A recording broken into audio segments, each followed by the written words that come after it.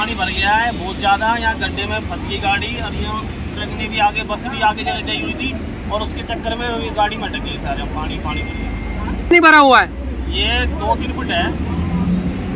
दो तीन फुट है ऊपर सवारी बैठी है मेरी। वो है कैप्टन है। ऐसे ऐसे है। अब ये फंस गए तो है। ये गाड़ी स्टेयरिंग का तक गाड़ी नाव की तरह तैर रही है। नाव कितना तैर रही है स्टेयरिंग तक छू गई है।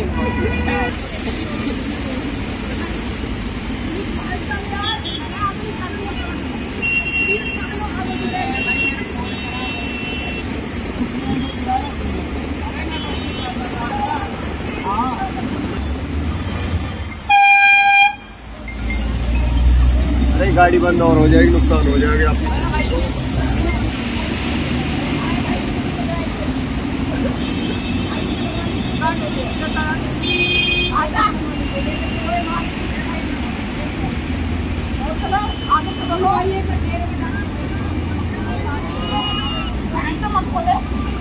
पानी उतर रो इसमें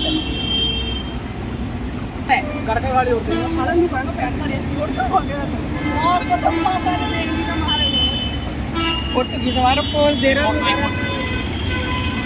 न्यूज़ ने सौ रुपए दी